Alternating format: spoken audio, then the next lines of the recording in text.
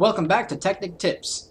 We got our nice lovely world here, but you know, I had to go way far north to find a desert, and we've got a lot of swamp around us. You know, maybe it's not the best world after all. What can we do about it? Well, we can come here and just go to this other world. That's right, folks. Mystcraft has been implemented in Technic. So here we are. We're down in this new world now. Oh snap, it's a cave world. As you can see, I've been here looking around a little bit. It's pretty cool. Uh, already, I start off with the chest right here. Kind of nifty. Nifty little start to a new world.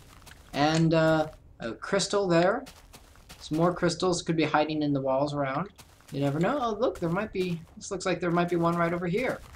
Wow, look at this. Another Thaumcraft crystal. Again, of course, these won't appear if you're playing in the multiplayer.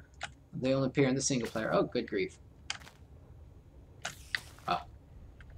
Vines! That's because we're in a jungle biome, as you can see from the mini-map. Excellent. Let's get those. Ah, yeah. So, Mystcraft is in the world. You can use it to find all sorts of nifty planes.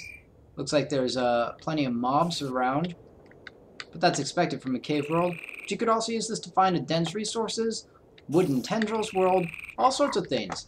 If you want to know more about the Mystcraft mod and what it can do, I've got an entire series up that I'll link over there in the Rei's minimap.